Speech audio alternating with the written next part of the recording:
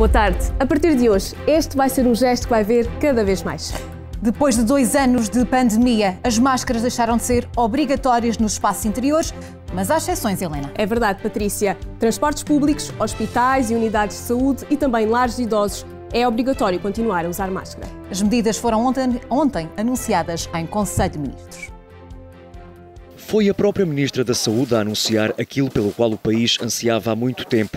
O uso obrigatório da máscara caiu e os portugueses passam assim a poder respirar fundo e garante Marta Temido de alívio.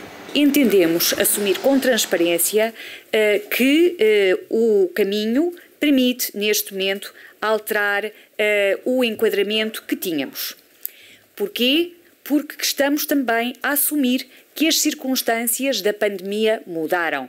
As mudanças de que Marta Temido fala englobam essencialmente dois indicadores o número de camas em UCI ocupadas por infectados com Covid-19, que atualmente é de 46, sendo o valor de referência 170, e o número de óbitos a 14 dias por milhão de habitantes com Covid-19, que deveria ser inferior a 20, mas que é hoje de 27,9. Ainda assim, a mortalidade por todas as causas, portanto, não só a mortalidade específica por Covid, mas a mortalidade por todas as causas no nosso país, encontra-se dentro dos valores esperados para a época do ano com alguns dias de excesso de mortalidade, eh, mas dentro dos valores de referência e com eh, a circunstância eh, adicional de estar estável desde fevereiro para cá.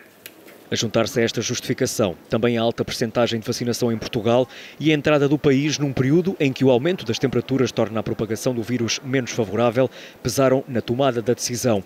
Contudo, a máscara vai manter-se em dois tipos de situações. Aos locais frequentados por pessoas especialmente vulneráveis, estabelecimentos de saúde, estruturas residenciais para idosos, unidades da Rede Nacional de Cuidados Continuados e Integrados e estruturas uh, desta tipologia, portanto, serviços de saúde e estruturas uh, onde residam pessoas especialmente vulneráveis e locais caracterizados pela elevada intensidade de utilização, uh, pelo difícil arejamento, pela inexistência de alternativas à sua utilização em momentos de grande frequência, como são os transportes coletivos de passageiros. Também a apresentação de certificados Covid nos lares cai e deixam de ser exigidos os formulários de localização de passageiros para todos aqueles que entrem ou façam escala em Portugal, seja por via aérea ou marítima.